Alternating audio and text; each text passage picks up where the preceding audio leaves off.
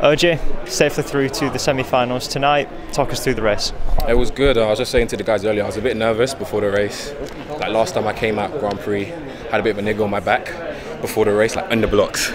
So I was just a bit like, okay, just get me through the race without any like wild stuff happening. And I think maybe that contributed to me sleeping in the blocks. But um, nevertheless, when I got upright, I had a lot of confidence in what I could do when I got upright. And um, I just got to hold on to that and just take confidence from this round and go back on to the next.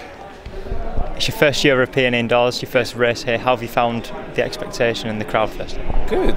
To be honest, I don't think I have any expectation. Obviously, you do as a British sprinter to do well, but I don't. I don't think I'm coming into this as a favourite or anything like that. So I'm just keeping my head down, not really taking in too much. Um, it's good to have a home crowd. I've, I've PB'd at Glasgow actually last year, so I'm used to the surroundings, and uh, I'm just taking in each moment as as it comes really. So I'm, I'm, I'm enjoying it.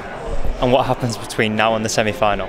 It's a long day, so got to go back to the hotel, have a flush, massage, whatever, get some food, sleep, and then come back and do it all again later. So yeah, I'm, I'm looking forward to it. I'm not gonna lie to you, I'm excited.